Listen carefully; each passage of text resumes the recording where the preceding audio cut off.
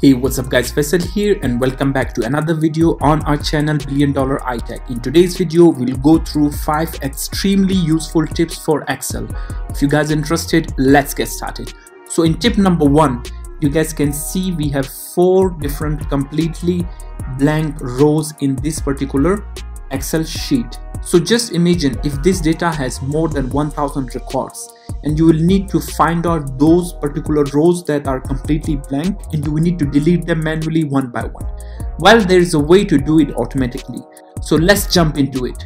All we need to do is focus on those rows that are completely blank. There are some cells that are blank, but we are not gonna delete these cells. We will only delete these rows. So first thing first we do is we'll create a new column. Let's name it assist. Once you created the column, now we'll apply the formula. Press equal, count A, formula, open the brackets.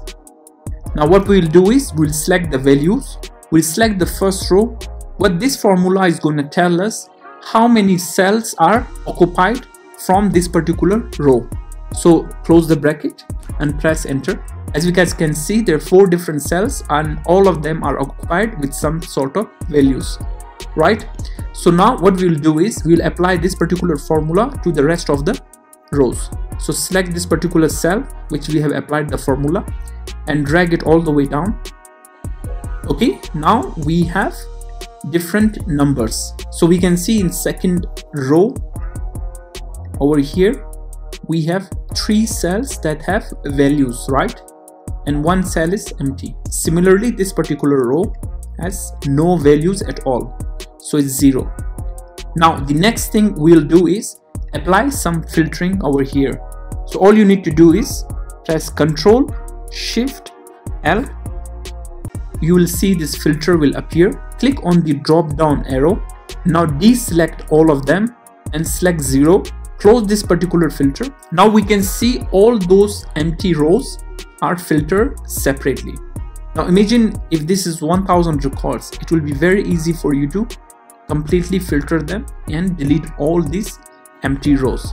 So this is what we're gonna do. Select these rows, right click and click delete row, press OK. Now press on this filtering again. We'll select all, close this now you guys can see those blank rows are completely removed from this particular file. Once you have done your work the next step is you can simply delete this particular column. That's all. Hola. This was the tip number one. In tip number two i will show you guys how to create integrated graphs in the cells. So as you guys can see on the left side i have sales record from july until october and then what I've done is over here created a column graph in one column and in second column I've created a line graph. Usually you guys have seen the graphs are separate but in this tip we'll see how to create these particular graphs within the cell itself to see the progress. So let's get started from this column. So the first thing we'll do is over here click on insert. You'll find this particular option over here it's called sparklines click on Sparklines. Now you have three different types of graphs that you can create within the cell. So first graph that we'll create is the column graph. Select a date range. So from here we'll select the values. What we'll do is our values are over here from June 50 until October. We have selected the values. Now select where to place these sparklines. In the second, we have already selected this particular part. That means the graphs will appear over here. Click OK. So you guys can see the selected sales values and the graph of that particular sales value. So the next step is we will apply a line graph. Similarly, we will go to the insert. You will click on sparklines. Now we'll click on line. Now let's select the sales record over here from June to October. Now we'll give it a destination. The destination the graph line will appear over here.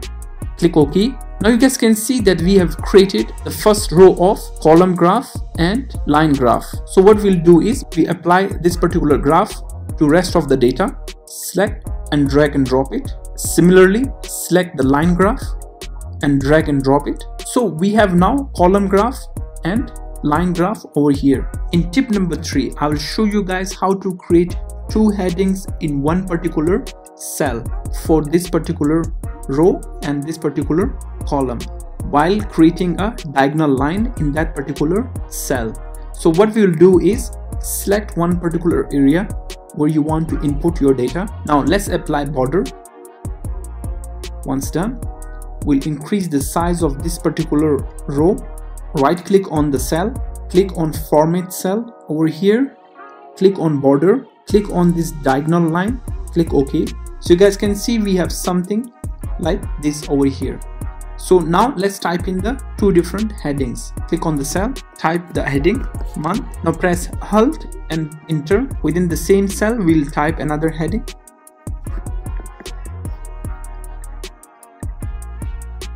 Once done, let's increase the size of the font. Now double click on this particular cell and apply space. Click OK. Now adjust the size of this particular column now you guys can see this is how we will apply two different headings in one particular cell for the row and for the column itself. Now let's move to the tip number 4. One of the tedious job is to delete the duplicate records, right? So in tip number 4, I will show you guys how to delete the duplicate records. In our case, C column has duplicate records. So what we'll do is click on conditional formatting, click on highlight cell rules then click on duplicate values. Here we will leave rest as it is. In the format width, we can change the color that the duplicate values we can highlight with. I will leave it as red, click OK. So now you can see in column C, we have a lot of duplicate values. Now how do we delete all these duplicate values? What we will do is we will apply filter on this particular column. Press Ctrl Shift L. You guys can see we have this drop down filtering. Press that button. We will filter by color cell color which contains red. And we can see all the duplicate values are filtered automatically. Now what we can do is we will select these duplicate values. Right click.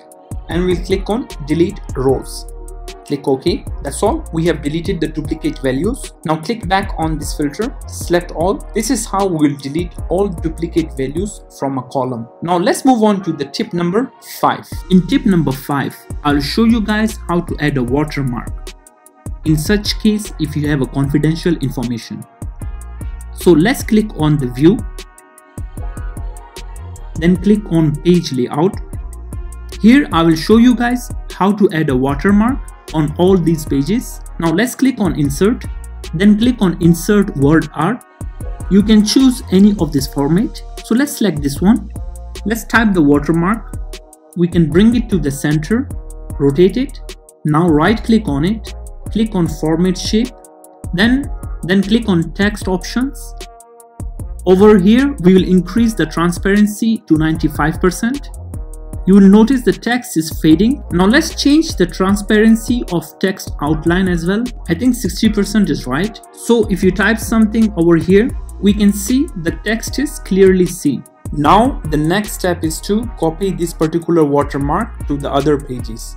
So we can copy it and paste it over here and then we can adjust it accordingly and so on. We can duplicate it to multiple pages. So I hope you guys like this video. If you guys find this video informative, give it a thumbs up and subscribe to our channel. I'm your host Faisal. Until then, peace.